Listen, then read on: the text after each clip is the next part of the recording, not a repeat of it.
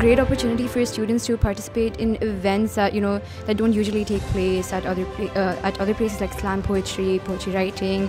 Um, there's a Just Sell It ad making competition. You know these events are very unique, and I feel like they're very interesting and engaging and fun to be in. So yeah, it's a great um, opportunity.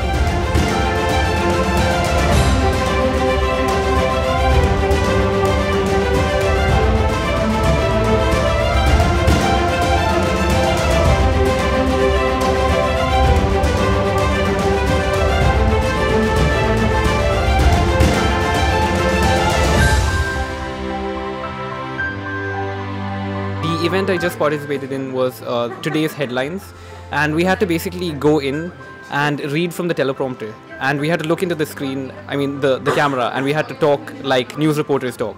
And I thought that was quite exhilarating. I found it a little scary because it was the first time I was doing something like that, and I was way out of my comfort zone.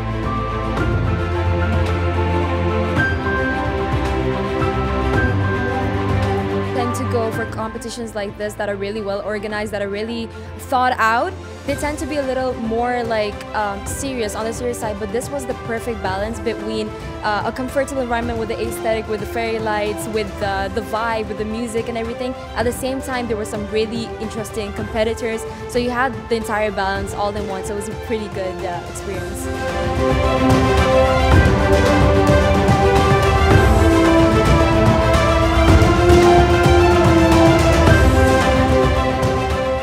Nice of um, the this university to be hosting this event where students from all other schools can come and showcase their talent. It's a good opportunity for them to you know actually understand where their talents lie and to develop them.